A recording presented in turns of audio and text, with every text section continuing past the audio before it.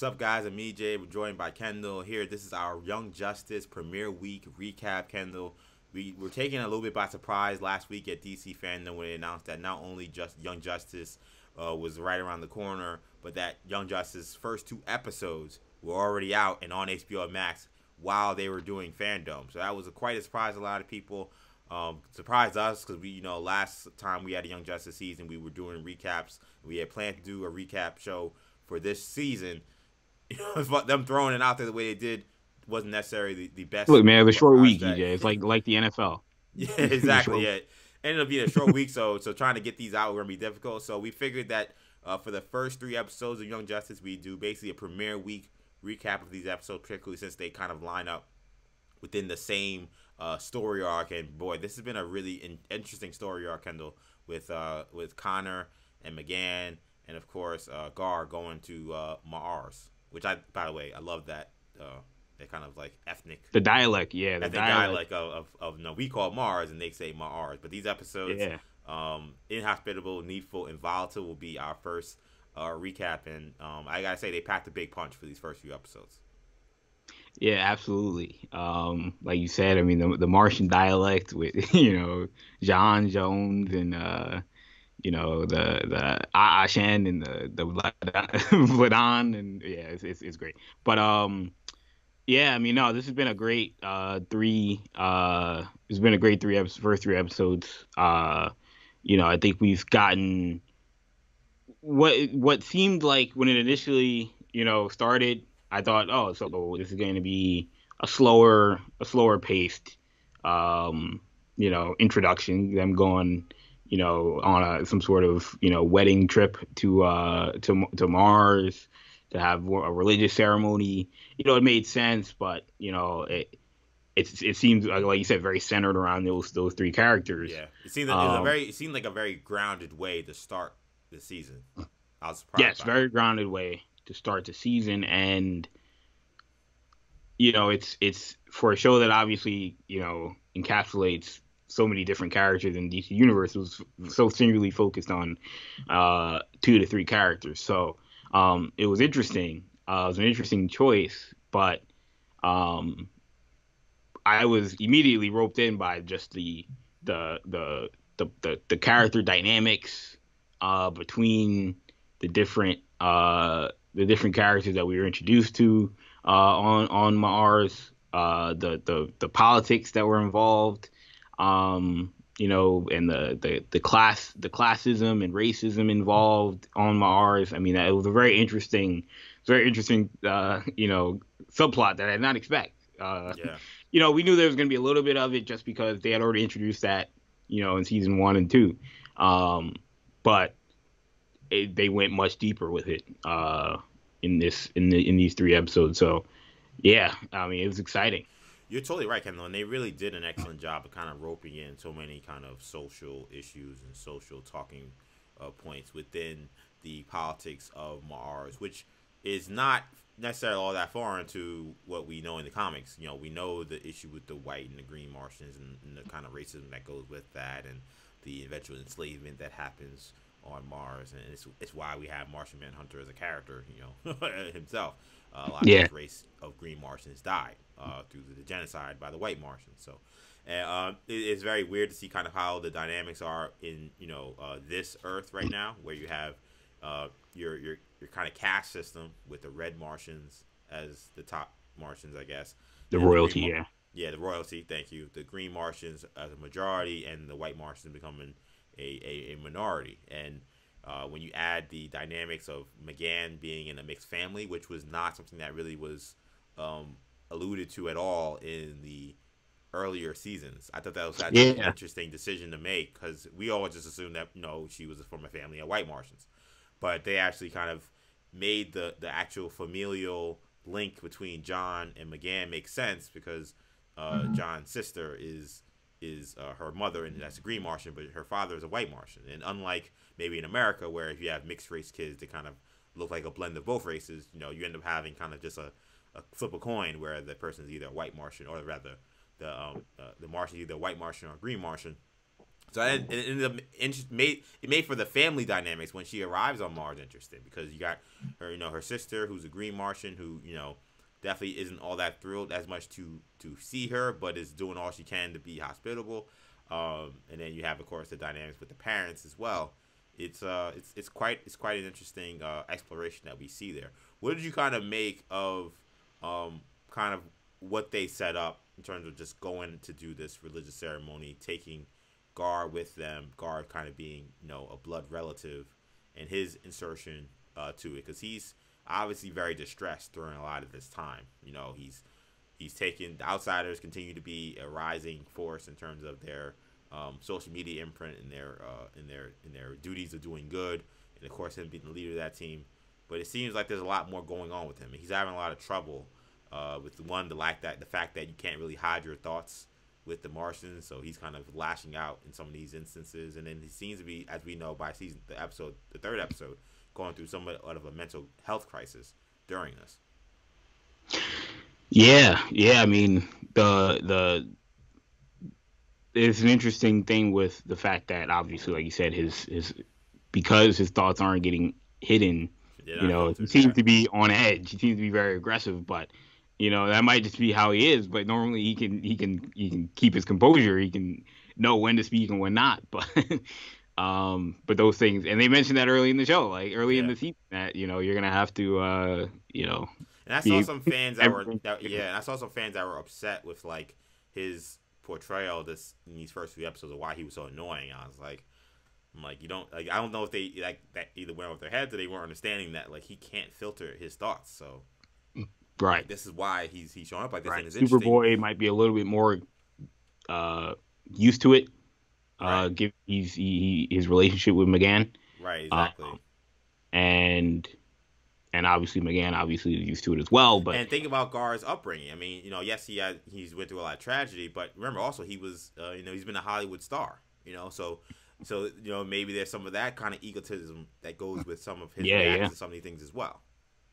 Yeah, absolutely. Um, you know, I think the the the the the, the fact that he's he's missing the the outsiders, it makes sense. Uh, they don't really they don't they don't hammer home the timeline, but it seems like it's been you know at least over a month since because obviously just like what we see now in, in our world, like going to Mars isn't it doesn't you know, it's not like going to the moon. Yeah, it's a much yeah, longer. They said, trip. they said this is a this is a three month trip that they're doing. It's a three month round trip.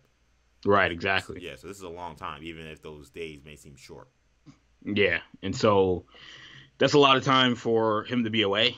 Um, I kind of wonder why he went, but that's a whole nother conversation. It's like, well, we know him, him, him and the and Princess Perdita are not on the bestest of terms. He kind of mentions that at some point that they maybe need some time and I and I, I kind of seem to think that again, whatever mental health things he's going through may be affecting his relationships with his team and with uh, his girl. You know, because you know I, I actually related a lot to when eventually Gar kind of you know we learned about the you know the uh, the Legion, and we'll get to them soon.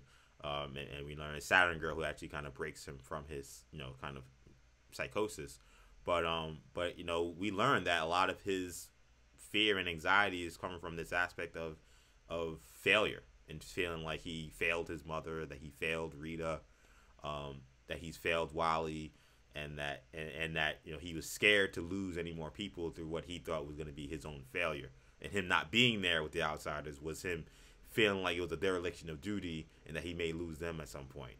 Uh, it, was, it, was, a very you know talking of having show displaying grief through that lens of failure or perceived failure was uh, really heartbreaking to me and um, to me very relatable. Yeah, that was interesting. I mean, I think we've seen um, what's so great about what the show does is they tie in they tie in the history. Like there are very few shows, even a show there were pl- even plenty of great, you know, comic book cartoons and animated series. You know, Batman the animated series was great, and you know, I think about Avengers: Earth Mightiest Hero, Spectacular Spider-Man. Those shows were great, but this show now create has created a universe yeah. where like everything matters and every little thing that's happened has an impact on the person's psyche going forward. So you have a situation where you may have someone like, um, you know, obviously you mentioned Beast Boy, you know, going through what he's gone through in the first season or yeah. even the second season, and now how does that affect him now? You and know, off camera, you know, because I mean, like yeah. I had to actually end up doing some research about some of the other things. Like I, I forgot that um, that he was he was taken in by Rita once his mom died, and that Rita died with the Doom Patrol. You know, and we had that pretty trippy episode when he had the good, good goggles. And I rewatched that episode. I was like, oh yeah, that's right. He, he's lost two kind of quote unquote step parents, or at least one step parent. Um, even beyond losing his mother, who was killed by Queen Bee. You know, um, and feeling like a lot of these were his fault. You know, it was uh again, it's it's, it's very heartbreaking, but it it kind of puts you makes you understand, you know, why when any little thing was happening, he was so on edge with you know saving Superboy or you know or, kind of keeping everybody safe. It was it was very like like for example, like the Bruce Timm universe is is great. It's the gold standard of yeah. creating a universe in, in, in comic book animation, but what happens in Batman the animated series isn't as closely tied in to like what's gonna happen in you know Justice League Unlimited. Right, exactly. Justice League. You know, there are some callbacks, there are some little things, Amanda Waller, you know, yeah. or like Man Beyond to Batman, maybe a closer thing, but it's not it's not as close as one Young Justice. It's the same show, obviously, but there's so many time skips that almost feels like three different series uh, that they've had so far. So, um, yeah, it's been it's it, this that that part of this of this uh of this show has always been great, and it's it's on display in this in this early arc. What do you make of kind of the, the, the central kind of uh, mystery that we're kind of following early in the season? So, one, it centers around you know who killed this Red Martian King, which happened you know before we even begin these episodes. We're saying you know we learned that the Red Martian King, who was this reformer, this you know kind of progressive figure, was killed. Uh, he was trying to kind of you know improve relations with Earth and improve relations with people. Now the Queen is there, and she's you know you know we see somewhere you know, her right hand is you know, a very regressive guy, and and uh, and she's kind of reeling back some of these reforms. Then you also have, of course, J'onn J'onzz going through that uh, the boom tube that was supposed to be created between uh, you know uh, for them and Earth, and him it blowing up, and then that kind of being a different. Uh, uh, Talk about it in cra- crazy end episode one. Oh yeah, I mean, I thought J'onn J'onzz was dead. Did you think he was dead? I thought he was dead. I thought they killed J'onn J'onzz. I'm i like, thought. Wow, I, I, I, I, thought I didn't think he was dead, but I thought that he was going to. I thought they were going to stretch that out a lot longer than they did. And I honestly, I think they should have. Um, mm, okay.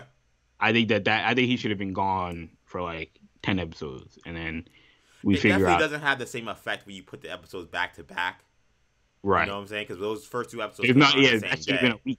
Yeah, so, so I feel like maybe if, if if you had a week go by and we're still, you know, we come in being like, yo, we don't know what happened to John, and then like you see, okay, he's there, like you, know, you go, you know, I watched it. You know, again, like it's three thirty seconds later, I learned that he was alive. Like, okay, we're all good now. Um, but then that that kind of becomes his own mystery as to like, you know, who set this up? Was it uh, her brother M'Komm, um, who's now going yeah. by uh, a Malefic, well, uh, which is uh, Malefic. Yeah, Malefic. Yeah, which, which, and it's which, funny because in my first introduction to Malefic was in Justice League Doom. Right. Uh, he's like he's a part of that group, and he's a, he's supposed to be Martian Manhunter's zone. And in the comics, he is J'onn J'onzz's brother. brother. Yeah, J'onn J'onzz's brother. And in this, they switched it up to make him M'gann's brother. Right. And you know that that's an interesting twist that makes sense given what they're the story they're telling with the classism and the and like I said the caste system the caste system that that we have in in this uh and we in this we Martian race. We were introduced to uh M'Komm or Ma Falak in um in the last season. Uh, right. When we went when we met Forager. You know when he was you know uh, in, yeah pretending to be Orion uh Orion. I'm sorry Orion. Uh, we was pretending to right. be Orion, and they were trying to get the weapons from Apokolips, and we see that his relationship with Apokolips is still pretty strong. We see Desaad uh, appear and yes. As, as, with this, you know, basically this this nuclear weapon that I wonder will actually set up that kind of what I talked about earlier, that kind of genocide that happens on Mars. We know that happens in you know different, many different other Earths when we know this story that leads to the White Martians being uh, being you know the ruling race. I kind of yeah. wonder if this was their way of kind of putting that there and saying they didn't never got to that point yet, but they, they could very well get there very soon. Um, right. So so those seem to be, and then the third mystery being why is the Legion following? Why are they there? Yeah. Why why are they there? You know, we see uh so we see Saturn Girl, Phantom Girl, and Chameleon Boy, and they they keep kind of referencing, you know, we can't intervene, but we need to make sure something happens. But then we do see the intervene at, from time to time. There's a point when M'gann almost notices that you know that they're there because also someone is clearly trying to sabotage uh, this whole thing. Yeah. The person who was probably behind the explosion of the boom tube and uh, those you know rocks that came down on them when they were uh, when they were going through that uh, that river. That so it's so it's like three mysteries kind of rolled into one. We, I assume that they'll all be somewhat kind of connected. What do you kind of uh, make of, of how that's been shaken out in these episodes? Yeah, so it seems like the Legion, like some of those, I think some of those mysteries, obviously on some level, are the Legion the Legion in, in, in disguise, the Legion, the Legion in secret, like when, you know, they didn't know who who who was the one that fixed up Gar, you know, right. you know, and they're trying to figure out is it a good person or is it or is right. it a bad person, you know, did they leave any sort of evil residue inside his brain and they they couldn't detect any, you know, obviously we know like you said that that Saturn girl, yeah, um, who who helped him, uh, or early in the early in the season where you know in the first episode where there's a cloaked figure in the background and you're thinking it's a Martian, but then there's a legion a legion ring. Yeah. You know, uh, they're clearly they've been paying attention. You know, so like you said, there's there's a mix. Um, there's still some gray areas, some things. Uh, it, it's it's it's been an interesting season because there's a lot going on. You know, so there is one of those it's one of those situations where we may have to actually go back and rewatch some of these episodes to catch little things now that you know what's yeah. going on. Um, you may have an even better understanding. Um, I look again. I, I I've loved. I've just loved the. It, it kind of reminds me of Planet of the Apes, where in Planet of the Apes you have um, this sort of you you have a you have this this class this class system where you've got uh, you know, the the orangutans are supposed to be the the more uh, intelligent race of, of of ape, and you've got you know the chimpanzees, which are kind of um, you know you're more I don't know what you want to call it, moderate, you know, in the middle or somewhere. And then you've got the gorillas who are like, you know, the muscle and but they're not, you know, as as intelligent as again the, maybe the orangutans are, a little more aggressive, you know. And you've got this, you've got the dynamics in between that. Um, and that's what this reminds me of, where you got, you know, and the names again, like the Garroon are supposed to be the Green Martians, right. and the Blaadan are supposed to be the the Red Martians. Red. Uh, and Shen or the white. The Ashen or the or the white, you know, for like ash and blood, you know, yeah. the, you know, and obviously Garroon is green, but um, that whole breakdown is is is interesting and. I, I think and I like how great... in the season they keep they keep having different reminders um, to to remind people that, that while they're different colors, they're the same. There's not they're they're identically from the genetic level the same. That was hilarious. Was that Desaad who came in and said Desaad, that? Well, Desaad, yeah, Desaad came in. Well, first, like, this was hilarious. About, you know, you guys are the exact same, but you guys treat each other so differently. Yeah, you want to you want to talk about sending a, a message to uh, racists, you know, worldwide, to come here and be like, basically the official the official doctrine of Apokolips and the Darkseid is that racism is dumb. yeah. That is stupid and we don't understand it. However, if you if you want to spread spread violence and hatred, we will more than happy be able to help you. But to put basically put in perspective that the most evil being in this whole galaxy and universe thinks racism is dumb doesn't understand it, doesn't approve of it, thinks it doesn't make any sense. I thought that well, yeah, I mean that kind very, of very important statement. You know, obviously not to get too political, but it speaks to like, you know, it's what people kind of assume the relationship with like Vladimir Putin is compared to with like you know Donald Trump, for example. You right? Yeah, yeah. Because Putin, I don't know if Putin really cares about Donald Trump's politics, but he's gonna he's gonna help feed it because right. like yeah, so yeah. is chaos. Um, he doesn't he doesn't agree with everything. He doesn't think he probably thinks the politics is just as stupid, but he, he loves the he loves the chaos. So it's a very similar it's a very similar relationship in that. I mean, again, it's very interesting, and you know, I think your theory about you know will Ma Alpha be the you know the the catalyst, and will we see the the the post you know genocide yeah. genocidal um or the post genocide Mars or Mars? Yeah. And and remember, we we had a similar. What I love about this show is we had a very similar story last season because it became Will uh Will Terra turn. Yeah, and you think it's inevitable because yeah, you know, every yeah. every time you hear the story, Terra turns on the Titans. Um, but this is you know Earth sixteen. This is a different Earth, so you know th- things can be different. Things can change. So yeah, um, so he he does get this weapon that would give him license to essentially wipe out the Green Martians and leave the White Martians basically to rule the rule the, the planet. Will he do it? I don't know.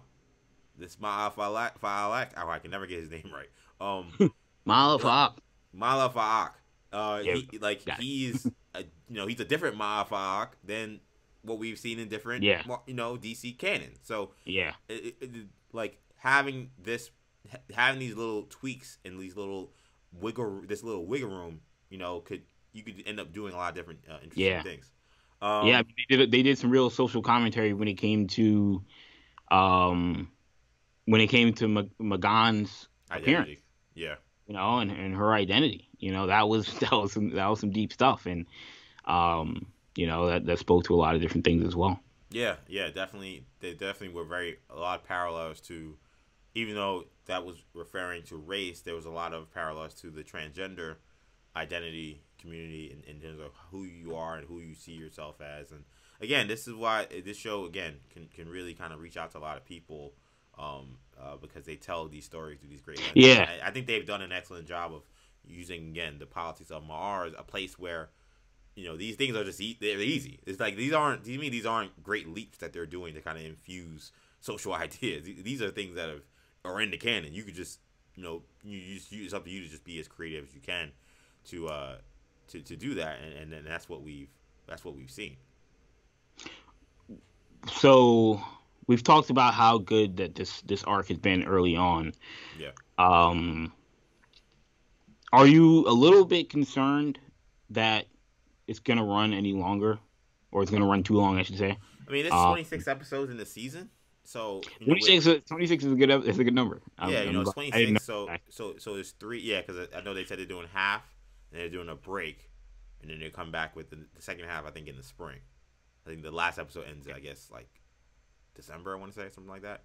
Um, so or maybe January. So I think I'm not. I'm cool. Uh, I think. I think that that you know. The, I know last time when they they did their first arc, the first arc was basically three episodes. The whole stuff in yes, Markovia. With Brion, yeah. Yeah, this has not been resolved. So we're still, you know, we're three episodes in and, and we're still kind of in Mars. And we, by the way, we have not been introduced to really anyone else uh, on the team, you know, besides, you know, very kind of like ancillary kind of moments, you know, you know, the moments where they leave and we kind of see, you know, you know, we see, you know, uh, uh, you know, uh, you know, Gabrielle, not Gabrielle, but you know, Violet, and um, they're yes. still living with them, and uh, and, and, Harper, you know, Harper is now living with them as well. You know, Brion's obviously gone because of what happened uh, last time, but um, otherwise, then of course we see the little hit clip of the Outsiders with uh, you know, Beast Boy kind of looking at looking at old you know videos of them, so we know kind of who the team is and, and what they've been doing. But besides that, we don't know where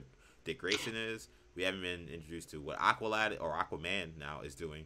Um, yeah, and they're in the they're in the title. They're in the intro. So yeah, Zatanna is now also technically a main character yeah, on Rocket. Rocket. So yeah. we don't know any. We have we have not experienced any of them, and that is a bold choice, um, to really decide because all these characters are very powerful, especially obviously Dick and um and Kaldur, but and of course uh, Artemis. But to, to decide, we're gonna really take the two members from the original team and just focus on them for three episodes uh, is is a bold move because we saw you know Superboy and and um and and and M'gann in those early three episodes, even though uh the action was in Markovia with Artemis and Dick. Right. The one, the other thing I will mention, I one one thing on that is that I I I I wouldn't go for more than five episodes. It, you know, if we get yeah, past five episodes on Mars, I think that that might be excessive. Um, I tend to think that it'll be wrapped up by the end of this next one. I kind of think so too. Um, yeah. I think you, it just makes sense. Uh, where we seem to be reaching a crescendo. Um, and again, again, again, at some point, you know, this the series is Young Justice. You know, it's not the the the M'gann and, and Superboy show, but um, no, I mean, if they if you ever need a pitch for a show, this they're doing a pretty good job of a good pilot. If you were trying to do a backdoor pilot, I.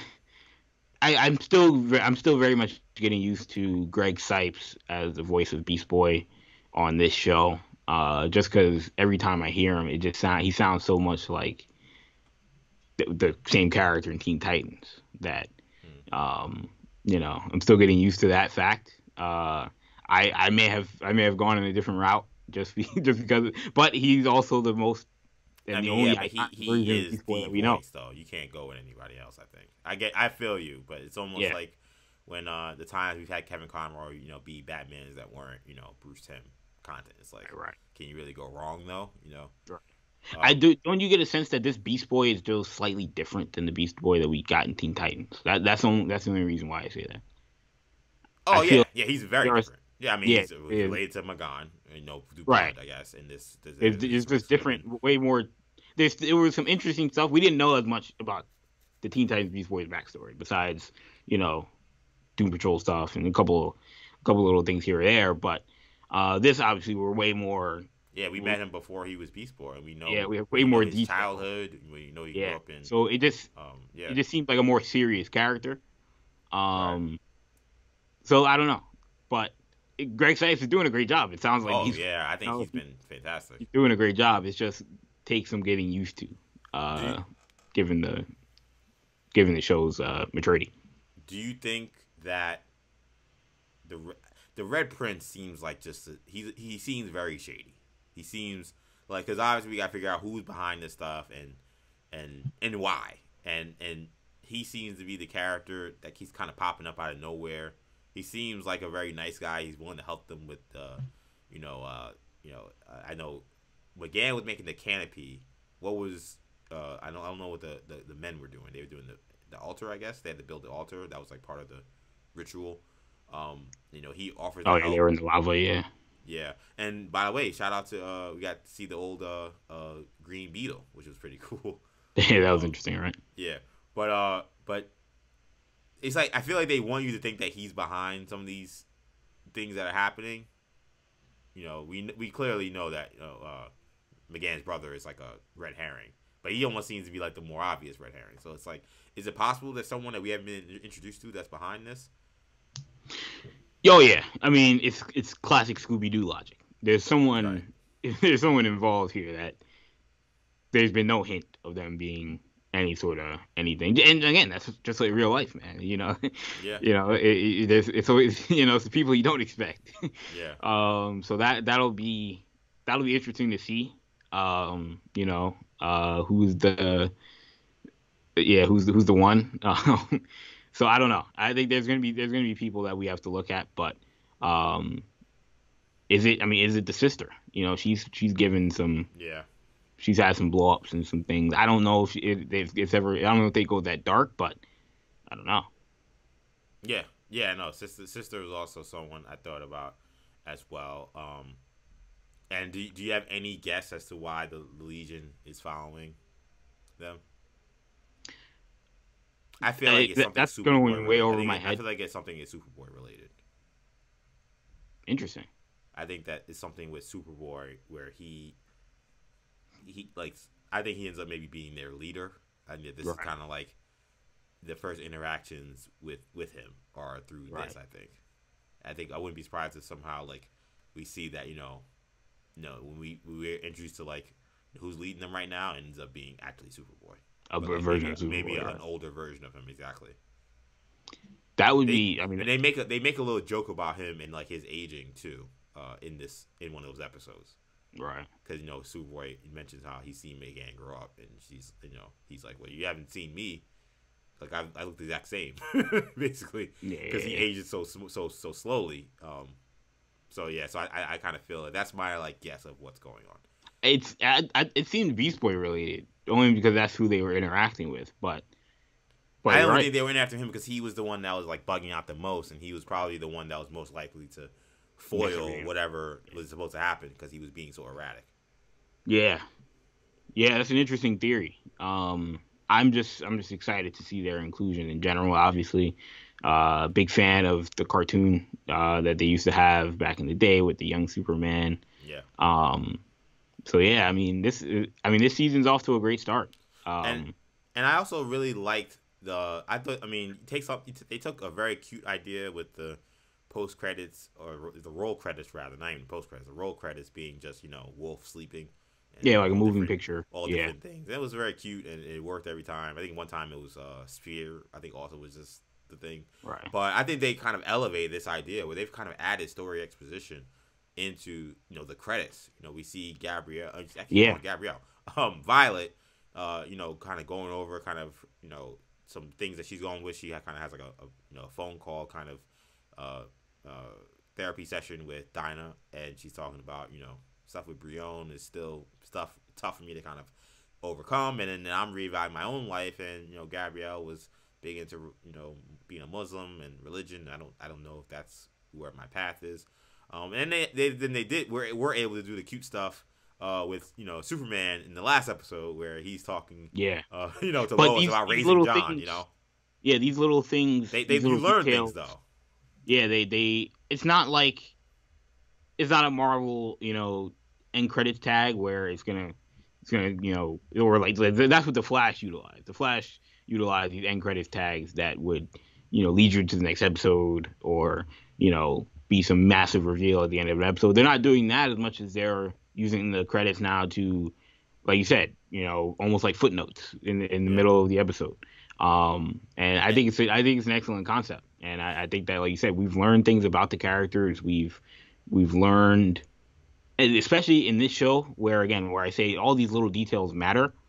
Timeline is important for a show that you know jumps five years into the future. It seems like every every every episode, like you need to know where are we? Like oh, John Kent is is a baby. You know, right. like Superman has a kid now. This this is important. You know, mark that down on the on the notebook. Like these things, these these. So those conversations throughout the throughout the season, they may not be game changers, but there'll there'll be things that that that matter. Yeah, and this is and we know this is a year removed from last year's stuff with uh with the end of last season. Um and then I also thought that, you know, the most important footnote probably in terms of these first three episodes was the episode two, where, you know, uh, you know, Beast Boy is listening to his voicemail from uh Perdita, who's talking about, you know, the, the difficulty they have in their relationship and, and how it's putting stress on her and and that kind of leads directly into the third episode where he kind of has to kind of speak to some of these issues he's having with uh, with mental health. So, um, I thought I thought it was like again going back to that quick mental health thing. I thought that was a neat thing too for for for M'gann to be like you know the the, the brain blast that you received.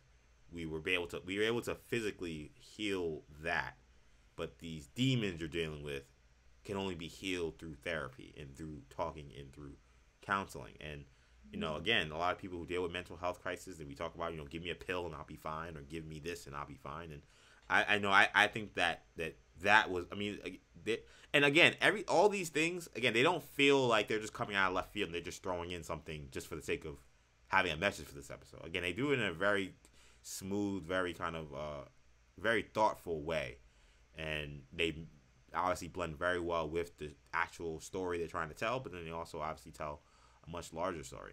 Um, how do we want to do ratings for these episodes? Do, should we should we just do just the, all, the pack of three? You know, we'll we'll be doing the weekly episodes after um, after obviously this review, review. But since uh, it may be weird to kind of review all three at once, um, maybe it's best to just do the, the whole three. So, what are you gonna give these three episodes uh, out of ten for premiere week for Young Justice? Uh, these three episodes, um, as a whole, I would say seven point five. Uh, I think it's been it's been very good. Uh, I think the first episode might have been the highest. That might have been around eight point five.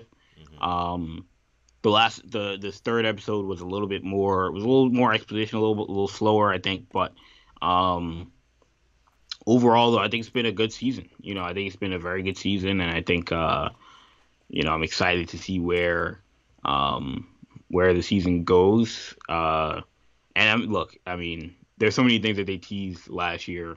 You know, Jason Todd. You know, yeah. well, Damian one, one, one, yeah, one of them promos, J- Jason Todd looks like he's fighting. Um, exactly, and so that that's yeah, so. that's the uh, thing that I'm most excited to see uh, this season. But we got to get past this Martian stuff first. Yeah, um, I, I, I love this. I love this open to the season. I thought that this has been to me like just glued to these episodes. I, am gonna go. I'm gonna go uh, eight and a half. Um, I think that this was really great. They tied in a lot. I mean, I think again bringing in Apokolips into this as well. Apokolips kind of tends to loom large through almost every season, um, especially two through four, and seeing you know seeing them say you know Apokolips is still here, and I think eventually it may not be this season, but maybe maybe season five is the one where we, we kind of really get Darkseid truly kind of in the fold here. Um, they, they kind of covered a lot of ground even while still being grounded to this very grounded story of just M'gann and Connor trying to have a wedding. Um, they packed a lot in there with what's happening with the outsiders, what's happening with these people individually, some of the historical moments that have happened with these characters and how it's impacting them in these moments today, and they're big moments. You know, um, again, you know, uh, and and her ha- her mother having that moment about identity is super important to you know M'gann's character and kind of who we see her as, and we we've seen her kind of take various different kind of you know um, appearances throughout the whole show, and, and kind of get you know that kind of kind of finite kind of moment to kind of address it was great, you know, um, and addressing of course the racism and it's I just I've again I've just really enjoyed these episodes. Uh, I think that we're gonna get a lot more expansive, more um, expansive kind of stuff involving the whole team very soon. But the world building on Mars, I think, has been very useful, and we'll end up seeing if if uh, if you know M'gann's brother ends up being the catalyst for this uh, you know, Martian genocide, or if they decide to do something different. But I think that they've put themselves in a good position um, either way because you've you know we also talk about you know what we deal with with uh, you know the political activists and then extremism and kind of what they've done with his character and kind of infusing that storyline and, and that uh, you know theme that we deal with uh, here in you know America and just on Earth period. Yeah, I mean think about the I mean think about the scene where he's locked up and yeah you know, they go over and he's talking to, you know, he's talking to M'gann like, you know, what do you, what, like, what is this? Like, you know, almost like, you know, why, yeah, I, why are you even yeah. messing with the Garoons? Like, are you kidding yeah. me? Or why are you right. messing with the, uh, the, uh, the Blaadan? You know? Or even like, the fact that, like, why am I, or even the fact that why am I locked up? Like, what, right. on what charges am I being locked up? That was interesting. I was, wow. I was, cl- I was cloaked in a place where there was a thing that happened. Yeah you already know from yeah. forensic evidence that I didn't do it. So what am I? There was some real, there was some real stuff there where it was like, look, yeah, it was like it was like Killmonger. It was like, look, man, Ma'afa'ak, he's seeing some stuff. we, we got to start listening to Ma'afa'ak. Yeah. So so again, there's a it's, it's it's it's this show is very powerful. Um, it's a show that we enjoy dearly, and um, being able to do weekly reviews for it is something that we we we wanted to do last season. We did again get uh, that off the ground. We're gonna try to be committed this season and give you guys weekly recaps of Young Justice season four Phantoms. Off to a really great start. Hope you guys enjoyed this recap. We'll be back next week with a new recap of Young Justice. That'll do it for now. For Kendall, I'm EJ. Take it easy, guys. Peace.